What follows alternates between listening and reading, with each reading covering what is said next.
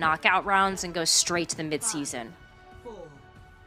Everything on the table out here. This is the weekend that really determines so much. The final weekend Mhm. here for our squads. That's why this week we'll be seeing those teams in the West finish out their qual stages, and while the East still continues their knockout bracket, a lot on the line here is the Atlanta Reign roll out, already trying to take control over the high ground where you can see Vulcan right next to Rakattack, as well as Lukemino just trying to control that other side entrance in case Lip tries to sneak in like right now. Yeah, Oh, look at this. Neither. Spider-Man point. Hello. I see. I perceive you. I don't want you to perceive me, but I do perceive that you were on Sombra also. The smile and wave and mind your own business out here. As now Dove is trying to isolate here too. Thing is, yeah, with the health pack right behind where Vegas is posted up and constantly Lip is gonna have to go to the other health pack that's over on the left side of the building. It was some progress on the payload, you see the Atlanta Reign playing in that split positioning. You see Hawk on the high ground, helped out by ChiYo. Ready trying to find that Sombra duel that you see also to the bottom right. You see Lip already trying to say Mouthful on the other side trying to get that EMP ready. But look at the difference. It, this is a good comparison with Lip already nearing 65%.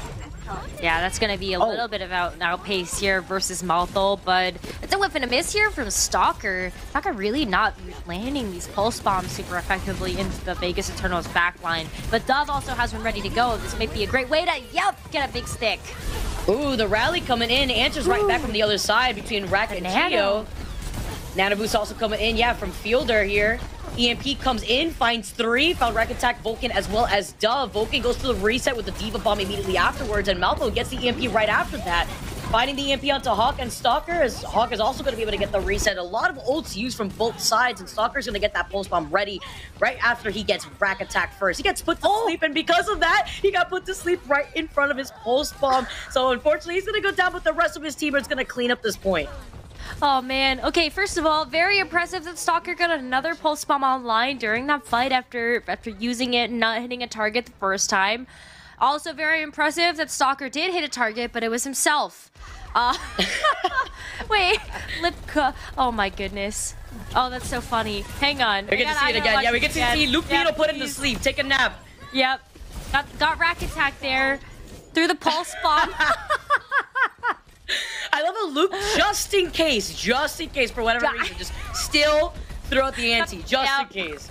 I Gotta hey, make sure listen, he's not a need vampire. An insurance policy. Lipid Stalker have been too much, and yeah, just not being able to get enough kills on a Stalker, that's for sure. But let's see if Dub can land another one. That was a big pulse bomb land first time around, and see if Dub can follow it up.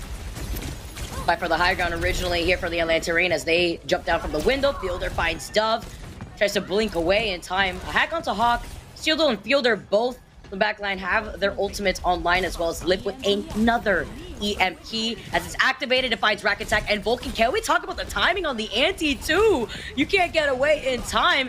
Vulcan literally survives with one pixel as he gets DMX. No reset for him. So it's going to be a, a stall out for Vulcan as Malfo and Double be able to re-engage with their own set of ultimates, but that's not before the Atlanta Reign get that second checkpoint. And another four ultimates on the board. Elena Reign just gets so much done with the EMP. I would love to be able to see them convert over the other ultimates a little bit better. I feel like that's where they have struggled a little bit in this series is not only have Vegas Eternal been able to sustain through that, Rakattack and Lukemino just putting on such a great showing in the backline of the Eternal, but Elena Reign really have had to throw more ultimates than I feel like they would like to at these individual fights in order to make the progress that they would like to have approaching this third and final objective as well, you really want to have as much firepower as possible. Oh, EMP lands onto Hawk and Lip, but no follow-up opportunity because the Vegas Eternal are just taking way too much damage. The pressure from the Atlanta Reign forces them to back away in time. The rally from Rakattack helps out the Vegas just for a brief amount of time, but that's when Stalker comes in with some help with three other members to find him with the Pulse Bomb. He took a lot of that damage originally here too, and they're literally hugging their spawn room doors right now, Necra. Currently see Vulcan making the immediate swap up because there was nobody left to stop the point. They needed a touch, but they just kept getting deleted. There was so much damage output coming out from the Reign, and we gotta talk about their survivability too, Necra. Only one death from the Reign, and it was Stalker. Everybody uh, else stayed alive the entire time. The stalker diffed himself is actually just what happened there. Oh no, can we even count that? I guess technically we should give the credit over to Lukemino. He got put to sleep. Stalker